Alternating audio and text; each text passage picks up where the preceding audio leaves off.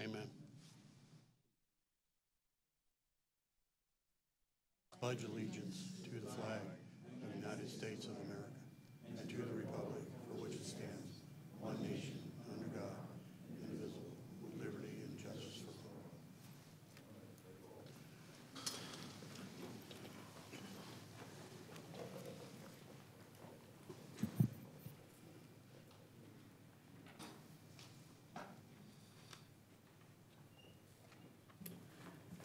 Good morning to everybody out there, Good morning.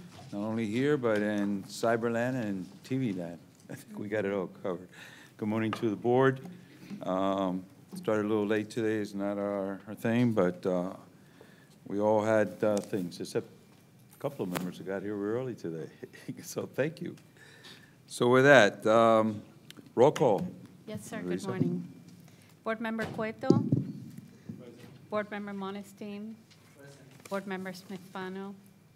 Treasurer Weinberg? Here. Vice Chair Moss? Chairman Diaz? Here. We have a full court. So with that, I also need to now go into uh, approval of the agenda. Do I have a motion? Second. Um, Was it Monestime? Commissioner, uh, um, Member Monestime, second by the Vice Chairman. All in favor, say aye. Okay. Um, Declaration of voting conflicts. Let's go from my right. Any, uh, any voting conflicts? No conflicts, Chairman.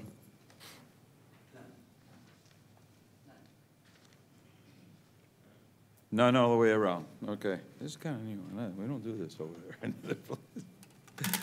Um, Citizens' comments. At this time, we're opening the mics to the citizens, that any of them that would like to speak on any of the issues that's brought before us, this is the time to do so.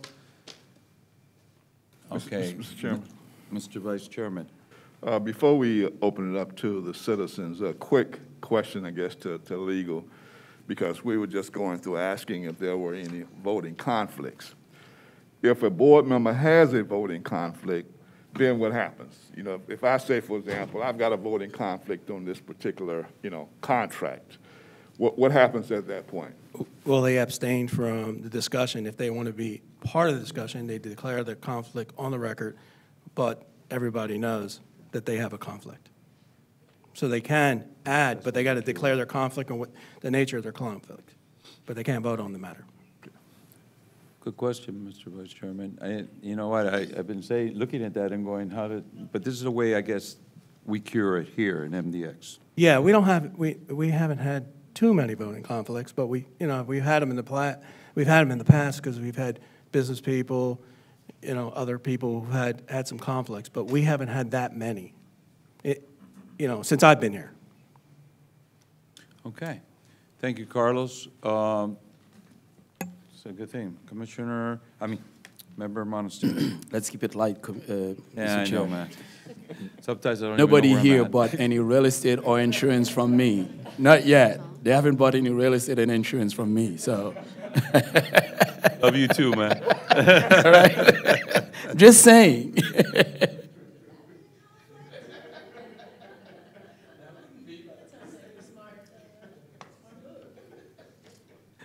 Taking advantage of my, my weak side of hearing. Commissioner Monestime has completed his advertisement for, for the morning. We can resume the meeting. You want to put the- Good. Did you wanted to add something, uh, Member Cueto? Okay, just checking it. Sally, you're good too, right? All right. All right. With that, let's go into our regular agenda. On the agenda, we have uh, a lot of things. If we could get through this agenda, um, I I don't see nothing really conflicting, but again, this is why we're all here. But uh, let's try to go through it. I- Is there anything on any item that you guys have an issue with? No? Um, You want to do me the honors, Mr. Vice Chairman, see if we could move these? Move So is there anyone that we have to hear? No? There's So, There's nothing that you have to hear. the- The agenda has been moved all the way through, A through D Yes, is the sir. regular agenda. There's also a- an item on the consent agenda, and uh, it's travel for Board Member Weinberg and Executive Director Fernandez to attend the Team Florida quarterly meeting. And just as a note, uh, any travel from the Executive Director's got approved, approved by the board, that's why it's on there. Okay, so I have a motion by the Vice Chairman. Do I have a second? Okay, see, I'm not doing too bad. We're all working on this. We need to get some coffee in here. So, all right, so with that, I have a, I have a motion by the Vice Chairman, a second by the Treasurer. All in favor, say aye. Aye. All right, so, Make it second. all right, as stated by the Vice Chairman and wanting to change it, flip it around, that the Treasurer moved it and the Vice Chairman seconded it. Now, all in favor, say aye. Uh, Okay, so we're good. Now, let me take a moment to, once again, um, thank uh, Darlene Fernandez for being here and taking the, the job. Um, This is, um, you know, this is going to be interesting coming in the future. There's, there's a lot of issues. This, this agency has never had a problem or a scandal. Uh, I, as your chairman, on, I am going to make sure that that stays that way. And I will be reviewing, like I said last time, you know, from point A to point Z. And that review is going to be looked at by each one of you. And your comments will be extremely important to me because I think it's, it's important that uh, during these times, that there's so many issues going on, that the crystal ball is not clear for any government um, as to what may happen in the future. I mean, I even got a call directly to Washington at 11:30 just to deal with other issues that are extremely important. Um, So I want to thank you once again because this job is not going to be easy. But I know if there's anybody that could do it, it's you. I've uh, known you for a long time, and I've seen your work. I've seen what you've done in a department that was a little in chaos, I could say, for a time. But um, it, you're leaving it in good hands. I know they're going to bug you a lot, Yeah. no matter what, still. But uh, again, uh, we're very proud, and I know this agency will continue to flourish in a good way, with good projects, with great people. And I would tell you is, you're going to have a great group of people uh, that have worked here when work was unde- undefinable uh, at one period, and you guys maintained it. And, and you moved forward, and with your head held high during a constant bombardment. Uh, I don't think the bombardment, uh, they're waiting, you know, I don't even think there's a ceasefire right now. I think, I think it's uh, just wrapping up and get ready, Yeah, yeah. you know? You know, I know you, you know, like the squirrel that gets the nuts and waits for the wrong day. So I just wanted to state that. Anybody else? Yes. How long do we want to give the county to bug her? Uh, Is that a 30-day, 14-day? What, Mr. Council? do we- You're- You, you asked the wrong person that know? question. Like, We need a sunset date for those phone calls.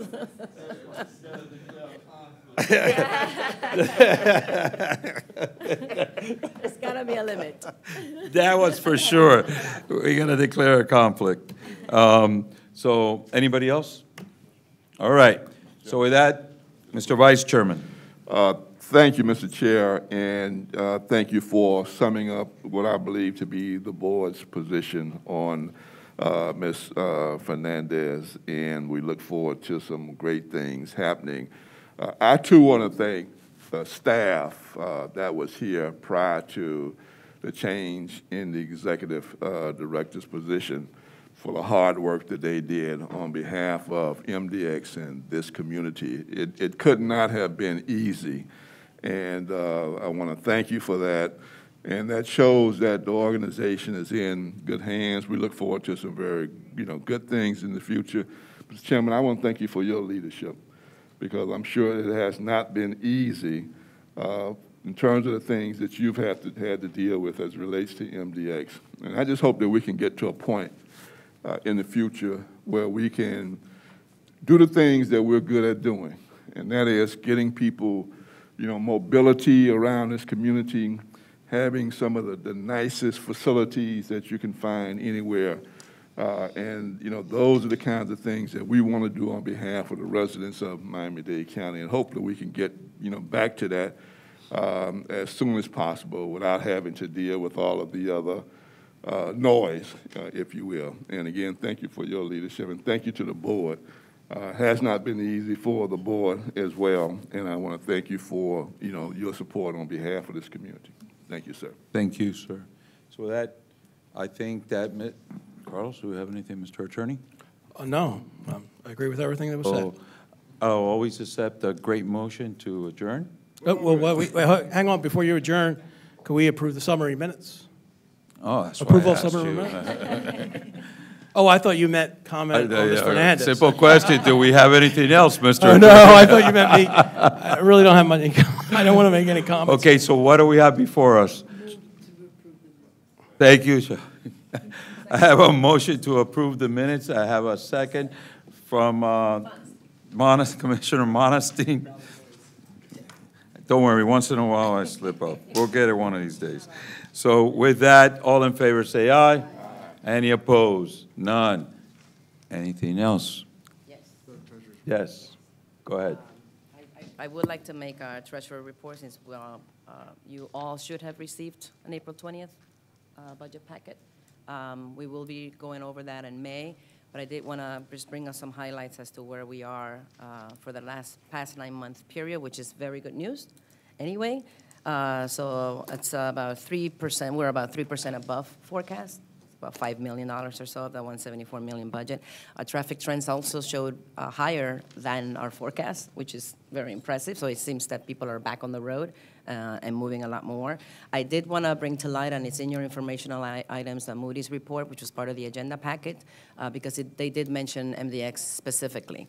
Um, and I see some, some uh, familiar faces on the audience today. Um, for those who didn't follow or missed it, March 10th, the Florida legislature passed legislation that basically reads that no state-owned toll road agency can raise uh, toll rates by inflation. They made, they mentioned MDX directly because that new um, uh, legislation uh, means that the Florida state legislature has become increasingly involved in toll setting, indicating a growing likelihood of political intervention, which could add risks for bondholders. They also go on to note that MDX's credit quality has weakened as a result of this political interference in its toll setting process, resulting in multiple downgrades to the credit rating to date. So they mention us by name. They, they're talking about this most recent legislation, and again, the legislature continues to put their hands on toll rate setting, which is making bondholder, bondholders understandably quite nervous and anxious. So I did want to put that on the record. Uh, on our end, for our books, we're looking fairly solid and strong. Marie, if you want to add anything, um, but I did want to state that. And then maybe hear from our new executive director before we adjourn. No. Thank you, Mr. Chair. That's all I got. Any And questions, actually, we can Madam, discuss. Madam uh, Treasurer, uh, I'm glad you brought that up because that is something that it's very unfortunate that after so much hard work from so many people, just one vote in the legislation could damage so much. So that's something we're going to look at, we're going to discuss. Um, There is uh, some legislation that I'm going to be bringing forth. Uh, We're really looking at every angle of this, and I'm going to be sitting down now with our new executive director, and some ideas that we have come forth, because we would have saved this community millions of dollars moving forward in the future. What was uh, the last amount that I think it was 160 something million? About $160 million. About 160 million just got thrown away. Um, And if that doesn't bother you, I don't know what does. But there's a lot that could have been done with 160 million dollars for this community. So this has got to stop as stated by my vice chairman. Um, And we're going to see, and I, and I liked what you said um, when you were going through for positioning of the job, Madam Executive Director, that, you know, we have to have communication. We have to find a, a sweet spot where we could negotiate and, and try to see if we could move forward without having the issues constantly haunt us, and that we have to try to play catch-up on a situation where we should be paying attention to how to improve and continue to improve our highways and our efficiency in dealing with those highways. So that's key, I think, to this whole board, and key to the citizens of Miami-Dade County, that now in your leadership, um, it's not that we bow down to anybody, because we only stand tall, obviously because of the citizens we represent in Dade County. But at the same time, uh, maybe there's, there's something that could be done after all this loss of money that's taken for no reason at all. So, floor is yours. Thank you, Mr. Chair and board members. Again, I'm, you know, grateful and honored that you have chosen me to be your next executive director. I know the decision was not an easy decision to make. As we all just discussed, you know, the agency has been through a lot in the last couple years. So this was probably one of the most important decisions I know how we move forward as an agency. And I, again, I'm here to do what's best for the residents. I promise you they're going to be in good hands. You all are going to be in good hands. Um, like the chair said, uh, communication is key, and that's one thing you are always going to get from me. I'm always going to tell you what I think is best. I'm going to learn from you all as well, because a lot of you have been here for quite some time, as me and Shelly were discussing earlier. And I have a lot to learn as well. And I know the staff that has been here for a very long time. I've had the opportunity to meet with some of my deputies in the last couple weeks, and there's a lot of knowledge and things that I know they know what's been going on with this agency and how can we make things better moving forward. So I appreciate everybody here today, and Carlos and Steve and everybody else, and Marie, Juan, Maria Luisa, and the board members. You guys have been great. Bernie, you've been great. And obviously now I'm in a transition from leaving the county. And I, I think I'm leaving the county in good hands, even though they might be bugging me for a little bit longer. 14 days. Yes, okay, so 14 days, whoever's listening in Cyberland, 14 days. Very little. Very small time. Uh, but I, again, I think we're going to be probably working even more with the county, and that's something that we're, I'm looking forward to moving, how we move forward as an agency. So thank you again, everybody. Okay, Thanks. so with that, let's uh, do that motion again. Moved. All right, and Duly it's been moved. second by Member Monestime. All in favor, say aye. Aye. Thank you all for coming.